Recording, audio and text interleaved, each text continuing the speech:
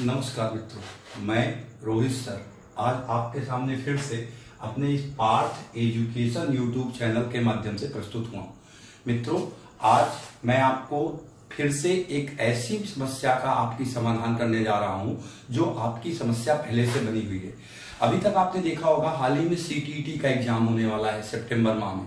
CTET के बाद, फिर इसके बाद अभी 8 जुलाई को आपका नेट का एग्ज़ाम है। आज मैं आपको जो टॉपिक बताने जा रहा हूँ, उस टॉपिक से नेट ऐसे छात्र जो नेट एजुकेशन सब्जेक्ट से दे रहे हैं, या होम साइंस सब्जेक्ट से दे रहे हैं, या साइकोलॉजी सब्जेक्ट से दे रहे हैं, या जो सी टेट और टेट की तैयारी कर रहे हैं, उनके लिए बहुत ज़्यादा आपको सहायता मिलेगी। मित्रों, आज मैं आपको स्किनर की थ्योरी बताने जा रहा हूँ। स्किनर का अधिगम सिद्धांत। देखिए, स्किनर ने अधिगम की प्रक्रिया में क्रिया प्रसूत अनुबंधन सिद्धांत को जन्म दिया। क्रिया प्रसूत अनुबंधन सिद्धांत को ही हम सक्रिय अनुबंधन सिद्धांत कहते हैं। और अंग्रेज़ी में इसके लिए operant conditioning theory of learning का यूज़ होता है। देखिए, लेकिन स्किनर की थ्योरी पढ़ने से पहले अगर हम पावलाव और थांडाइक का भी वीडियो देख लेंगे तो आपको ज़्यादा सुविधा होगी। क्यों? क्योंकि स्किनर का जो सिद्धांत है, वो पावलाव और थांडाइक के अधिगम सिद्धांतों के आधार पर ही है। मित्रों, जैसे मैंने अपने पुराने वीडियो में आपको बताया था, सबसे पहले इवान पावलाव ने, इवान पावलाव ने कुत्ते पर रिसर्च किया। इवान पावलाव ने कुत्ते पर रिसर्च करके इन्होंने classical conditioning theory of learning दी शास्त्रीय अनुबंधन का सिद्धांत दिया शास्त्रीय अनुबंधन के सिद्धांत की प्रक्रिया में इवान पावलाव ने कुत्ते पर शोध किया। और इस मैं अपने पुराने वीडियो में ये आपको इवान पावलाव की थ्योरी बता चुका हूँ। जो मित्र अभी तक मेरा पुराना वीडियो नहीं देख पाए हैं और पावलाव की थ्योरी के विषय में समस्याएँ उनकी बनी हुई हैं, वो मेरा पुराना वीडियो देखेंगे तो आपकी समस्या का समाधान अवश्य हो जाएगा। अब देखिए, इवान पावलाव की इस थ्योरी में मैंने बताया था unconditional stimulus unconditional response conditional stimulus conditional response जहाँ पर पहले भोजन को देखकर, भोजन को देखकर कोई भी कुत्ता लार गिराता था तो देखिए, भोजन जो है, ये भोजन आपके लिए कार्य कर रहा है उद्दीपक का, और लार जो है, ये आपके लिए काम कर रहा है अनुक्रिया का। उद्दीपक का मतलब स्टिमुलस और अनुक्रिया का मतलब रिस्पॉन्स तो स्टिमुलस को देखकर पावलाव की थ्योरी में रिस्पॉन्स होती है। इसके बाद दूसरा जो सिद्धांत मैंने अपने वीडियो में इस पार्थ एजुकेशन में आपको बताया, वो थांडाइक की थ्योरी है। थांडाइक ने बिल्ली पर शोध कार्य किया और भूखी बिल्ली पर शोध कार्य करते हुए थांडाइक ने प्रयास और त्रुटिका जिसका सिद्धांत आप कहते हैं, जिसका ओरिजिनल नाम जो है, उद्दीपक अनुक्रिया सिद्धांत है। उद्दीपक अनुक्रिया सिद्धांत का प्रतिपादन किया। इसमें थांडाइक ने भोजन को देखकर बिल्ली के उछलने, कूदने की प्रवृत्ति पर शोध कार्य किया और उसके आधार पर सिद्धांत बताया। तो देखिए, यहाँ पर जो भोजन है, ये भोजन आपके लिए कार्य करेगा उद्दीपक का। उद्दीपक का। और उछलना, कूदना जो है, ये आपके लिए कार्य करेगा अनुक्रिया का। तो ये उद्दीपक और अनुक्रिया की कहानी हो गई। इसमें उद्दीपक का मतलब स्टिमुलस और अनुक्रिया का मतलब रिस्पॉन्स यहाँ देखिए, यहाँ पावलाव की थ्योरी में भी पहले स्टिमुलस था, फिर रिस्पॉन्स था। यहाँ थांडाई की थ्योरी में पहले स्टिमुलस है, फिर रिस्पॉन्स है। लेकिन दोनों की थ्योरी में एक मुख्य अंतर है। जो इवान पावलाव की थ्योरी है, इवान पावलाव की थ्योरी में दोनों के बीच जो बना है, वो अनुबंधन है, जिसको आप कंडीशंस कहते हैं। लेकिन थांडाई की थ्योरी में दोनों के बीच में जो बना है, वो संबंध है, जिसको आप बॉन्ड कहते हैं। इसके आधार पर ही पावला, थांडाइक ने तीन मुख्य नियमों का प्रतिपादन अपने अधिगम सिद्धांत में किया। सबसे पहले इन्होंने तत्परता का सिद्धांत प्रतिपादित किया। तत्परता के बाद अभ्यास का सिद्धांत प्रतिपादित किया और अभ्यास के बाद प्रभाव का सिद्धांत प्रतिपादित किया। देखिए, प्रभाव के सिद्धांत में दो चीज़ें थी। एक थी संतुष्टि और दूसरी थी असंतुष्टि। आप मेरे पुराने वीडियो में ये सारी चीज़ें पढ़ सकते हैं। अब इसी थांडाइक के प्रभाव के नियम के आधार पर ही स्किनर ने अपना क्रिया प्रसूत अनुबंधन सिद्धांत या सक्रिय अनुबंधन सिद्धांत प्रतिपादित किया। क्रिया प्रसूत अनुबंधन या सक्रिय अनुबंधन सिद्धांत की प्रक्रिया में स्किनर ने एक भूखे चूहे पर, एक सफ़ेद चूहे पर शोध कार्य किया। सफ़ेद चूहे पर शोध कार्य करते हुए स्किनर ने एक बॉक्स बनाया, जिसको बाद में इनके छात्रों ने अपनी गुरु की याद में इसका नाम स्किनर बॉक्स ही रख दिया। स्किनर बॉक्स की प्रक्रिया में था क्या? इस स्किनर बॉक्स में नीचे की ओर एक रोलर लगा था। रोलर का मतलब था जैसे अगर ये मेरा मार्कर है, मार्कर में बीच में मैं पहिया लगा दूँ तो इधर उधर ये रोल होने लगेगा। ये रोलर लगा था। इस रोलर के अलावा इस जो बॉक्स बना, उस बॉक्स में यहाँ पर एक लीवर था। लीवर का मतलब था एक बटन थी। इस बटन के दबने से यहाँ घंटी बस घंटी बजती थी, यहाँ पर लाइट जलती थी और यहाँ पर रोटी के टुकड़े रखे गए थे। रोटी के टुकड़े। अब स्किनर ने अपने इस सिद्धांत में प्रयोग करने के लिए भूखे चूहे को इधर बंद कर दिया। भूखे चूहे को बंद कर दिया। लेकिन मित्रों, मैं आपका ध्यान फिर से आकर्षित करना चाहूँगा, क्योंकि जब तक पावलाव थांडाइक की थ्योरी आप नहीं सही से समझेंगे तब तक आपको स्किनर की थ्योरी उतनी अच्छे से नहीं समझ में आएगी। पावलाव की थ्योरी में था, भोजन को देखकर अनुक्रिया हो रही है। अगर भोजन ना होता तो कुत्ते का लार ना गिरता। इसी तरीके से थांडाई की थ्योरी में था, भोजन को देखकर बिजली उछलती कुत्ती थी। तो भोजन उद्दीपक ना होता तो कभी भी अनुक्रिया ना होती। लेकिन स्किनर की थ्योरी में ऐसा नहीं था। इस भूखे चूहे को यहाँ पर रखा हुआ भोजन नहीं दिखलाई पड़ रहा था। और इस बॉक्स की एक खूबी थी कि जब जब ये लीवर दबेगा, तब तब उस यहाँ पर घंटी बजेगी, लाइट जलेगी और रोटी का हर बार एक ही टुकड़ा गिरेगा। हर बार केवल एक ही टुकड़ा गिरेगा।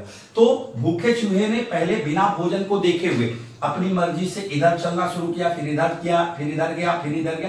कई बार जाने के बाद उससे ये लीवर दब गया। इस लीवर के दबने से घंटी बजी, लाइट जली और रोटी का एक टुकड़ा गिरा, जिसे भूखे चूहे ने खा लिया। अब क्योंकि चूहा भूखा था, और भूखे चूहे को रोटी का एक टुकड़ा मिल गया तो चूहे को, भूखे चूहे को जब रोटी का एक टुकड़ा मिल गया तो भूखे चूहे को संतुष्टि हो गई। इसीलिए कहा जाता है स्किनर के क्रिया प्रसूत या सक्रिय अनुबंधन सिद्धांत का प्रतिपादन थांडाइक महोदय के प्रभाव के नियम के आधार पर हुआ। पिछली बार यूजीसी ने भी इसे अपना प्रश्न बनाया था। अदर दूसरे जीडीसी के हायर के एग्ज़ाम में प्रश्न आया था। तो याद रखिएगा, प्रभाव का जो थांडाइक का नियम है, उसी से स्किनर का क्रिया प्रसूत अनुबंधन सिद्धांत बना। इस क्रिया प्रसूत अनुबंधन सिद्धांत की प्रक्रिया में पहले भूखे चूहे ने अपनी मर्ज़ी से बिना भोजन के देखे हुए चलना शुरू किया। चलने के बाद उससे लीवर दबा, घंटी बजी, लाइट जली और एक रोटी का टुकड़ा मिला। अब देखिए, सबसे पहले भूखे चूहे ने अपनी मर्ज़ी से चलना शुरू किया। चलने के पश्चात उसे रोटी का टुकड़ा मिला। तो यहाँ चलने की प्रक्रिया जो है, ये चलने की प्रक्रिया आपका कार्य कर रही है अनुक्रिया। और रोटी का टुकड़ा जो है, ये आपका कार्य कर रहा है उद्दीपक का। इसका मतलब अनुक्रिया का मतलब रिस्पॉन्स और उद्दीपक का मतलब स्टिमुलस। अब देखिए पहले पावलाव की थ्योरी में एस था, फिर आर था। मतलब पहले स्टिमुलस था, फिर रिस्पॉन्स था। थांडाई की थ्योरी में पहले एस था, फिर आर था। मतलब पहले स्टिमुलस था, फिर रिस्पॉन्स था। लेकिन स्किनर की थ्योरी में पहले रिस्पॉन्स है, फिर से स्टिमुलस आ गया। इसका मतलब थांडाइक की थ्योरी पावलाव की थ्योरी से स्किनर की थ्योरी में बदलाव हुआ, अंतर हुआ। क्यों? क्योंकि पावलाव की थ्योरी में भोजन को देखकर कुत्ते का लार गिर रहा था। उद्दीपक को देखकर अंक्रिया हो रही थी। थांडाइक की थ्योरी में भोजन को देखकर बिल्ली उछल कूद रही थी। मतलब उद्दीपक को देखकर अंक्रिया हो रही थी। लेकिन स्किनर की थ्योरी में अपनी मर्ज़ी से भूखे चूहे ने चलना शुरू किया और उसके आधार पर उद्दीपक हुआ। उद्दीपक दिखा और इसके आधार पर जब उद्दीपक और अनुक्रिया ये दोनों ही प्रक्रियाएँ मिल गई तो इनके मिलने से अधिगम की प्रक्रिया चलने लगी। अब इसके बाद भूखे चूहे ने दूसरी बार, तीसरी बार, चौथी बार पचवी बार, लगातार दूसरी बार, तीसरी बार, चौथी बार पचवी बार, छठवीं बार लगातार कई बार भूखे चूहे से वो लीवर दबता चला गया। लेकिन जो दूसरी बार, तीसरी बार, चौथी बार, पचवी बार लीवर दबा, वो यहाँ पर अधिगम की प्रक्रिया में पुनर्बलन के रूप में प्रस्तुत किया गया। क्यों? क्योंकि पहले जो अनुक्रिया हुई, उसके बाद जब उद्दीपक हुआ तो उद्दीपक और अनुक्रिया जब मिल गए तो अधिगम की प्रक्रिया चलने लगी। उसके बीच में दूसरी रोटी का टुकड़ा, तीसरी रोटी का टुकड़ा, चौथी रोटी का टुकड़ा मिला और चूहा समझ गया, जब जब ये लीवर दबता है तब तब रोटी का टुकड़ा मिलता है। उसके बाद वो सीखने के पश्चात वो यही बैठ गया। और जैसे ही उसे भूख लगती थी, वो लीवर दबाता था, भोजन ग्रहण करता था। लीवर दबाता था, भोजन ग्रहण करता था। इसके आधार पर दूसरी, तीसरी, चौथी, पांचवी, छठवीं बार जो रोटी का टुकड़ा मिला, वो स्किनर की थ्योरी में पुनर्बलन के रूप में प्रस्तुत किया गया। अतः स्किनर ने अपने इस क्रिया प्रसूत या सक्रिय अनुबंधन सिद्धांत में पुनर्बलन को विशेष रूप से महत्व दिया। मैंने आपको पहले भी इवान पावलाव की थ्योरी में बतलाया था। कि सामान्य रूपों में आजकल बहुत सी किताबों में, बहुत से टीचर केवल कुत्ते पर किए गए एक्सपेरिमेंट को बताते हैं, जबकि सीटीटी में और यूजीसी में केवल प्रयोग नहीं पूछा जाता। प्रयोग के अलावा सिद्धांत आधारित प्रश्न होते हैं। इसी तरह थांडाइक में बिल्ली बताया तो मैंने आपको पावलाव की थ्योरी में बताया था, अनुबंधित उद्दीपक को अन अनुबंधित उद्दीपक के पहले रखकर लगातार बार बार अधिगम करता के सामने जब प्रस्तुत किया जाता है तो अन अनुबंधित अनुक्रिया का संबंध, अनुबंधित उद्दीपक से होकर अनुबंधित अनुक्रिया होने लगती है। इसी तरीके से थांडाई की थ्योरी में भी था कि जब कभी भी विशिष्ट उद्दीपक का, विशिष्ट अनुक्रिया के साथ संबंध बन जाता है तो जब जब वह विशिष्ट उद्दीपक प्रस्तुत होता है, उससे संबंधित विशिष्ट अनुक्रिया प्रस्तुत करके अधिगम करता सीख लेता है। आज उसी प्रकार से पुनर्बलन को विशेष महत्व देकर स्किनर ने क्रिया प्रसूत अनुबंधन सिद्धांत जो प्रतिपादित किया है, उस सिद्धांत की व्याख्या मैं आपको करता हूँ कि सुनियोजित कार्य व्यवहारों सुनियोजित अधिगम प्रक्रिया के मध्य में जब कभी भी किसी भी बालक को पुनर्बलन की प्राप्ति हो जाती है तो वह बालक वांछित रूप से वह प्रक्रिया सीख लेता है जो कि वह सीखना चाहता है। अर्थात इनके सिद्धांत में पुनर्बलन का सबसे विशेष महत्व है और पुनर्बलन के आधार पर ही कोई भी बालक सीखता है। अब देखिए, इसके आधार पर स्किनर ने अपने यहाँ दो प्रकार के व्यवहार का उल्लेख किया। पहला व्यवहार जो उनके सिद्धांत में था, वो प्रतिक्रियात्मक सिद्धांत था। प्रतिक्रियात्मक व्यवहार था। दूसरा व्यवहार, जिसे हम सक्रिय व्यवहार कहते हैं, इस सक्रिय व्यवहार को ही क्रिया प्रसूत व्यवहार कहा जाता है। दो प्रकार के व्यवहार का उल्लेख किया स्किनर ने अपने सिद्धांत में। पहला प्रतिक्रियात्मक व्यवहार ऐसा व्यवहार जो उत्तेजना के प्रत्यक्ष नियंत्रण में हो। अर्थात जहाँ पर उद्दीपक को देखकर कोई भी जीव, कोई भी अंक्रिया करे, उस व्यवहार को ही प्रतिक्रियात्मक व्यवहार कहते हैं। जैसे पावलाव की थ्योरी में भोजन को देखकर कुत्ते ने लार गिराया। अगर भोजन ना होता तो कुत्ते का लार ना गिरता। थांडाइक की थ्योरी में भोजन को देखकर बिल्ली ने उछलना कूदना शुरू करता। अगर बिल्ली भोजन को ना देखती तो उछलती कूदती नहीं। तो जीव ने भोजन को या उद्दीपक को देखा। उद्दीपक को देख करके जब उसने कोई भी क्रिया या व्यवहार करना शुरू किया तो उसे प्रतिक्रियात्मक व्यवहार कहते हैं। लेकिन स्किनर के सिद्धांत में ऐसा नहीं था। भूखे चूहे को कहीं से भी भोजन नहीं दिखलाई पड़ रहा था। मतलब किसी भी जीव द्वारा किया गया ऐसा व्यवहार जो उत्तेजना के प्रत्यक्ष नियंत्रण में ना हो मतलब जहाँ बिना उद्दीपक को देखे हुए कोई भी जीव अपनी मनमर्जी से किसी भी प्रकार का व्यवहार करता है, जैसे स्किनर के सिद्धांत में चूहे द्वारा किया गया व्यवहार तो उसे ही सक्रिय या क्रिया सूत्र व्यवहार कहा जाता है। देखिए मित्रों, मैंने ये तीनों थ्योरी पावलाव का शास्त्रीय अनुबंधन सिद्धांत थांडाइक का उद्दीपक अनुक्रिया सिद्धांत और स्किनर का क्रिया प्रसूतन बंधन सिद्धांत। इन तीनों को एक साथ आपके सामने रखकर कंपरेटिव रूप में समझा दिया है।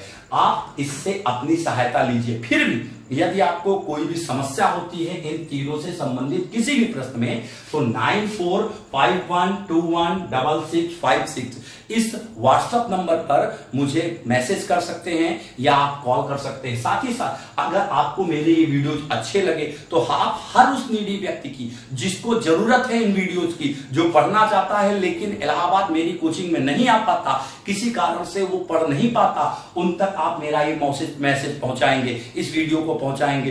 तो इस पार्थ एजुकेशन की जिसलिए मैंने न्यू रखी, वो न्यू सफल हो जाएगी। मैं यही चाहता हूँ कि अभी मैं स्किनर का, इसमें और भी चीज़ें आपको बताऊँगा। लेकिन उसके लिए अगला वीडियो का पार्ट आप देखते रहिए। उसमें आपको स्किनर की पुनर्बलन अनुसूची और पुनर्बलन के आधार पर किए गए प्रक्रम मिलते हैं।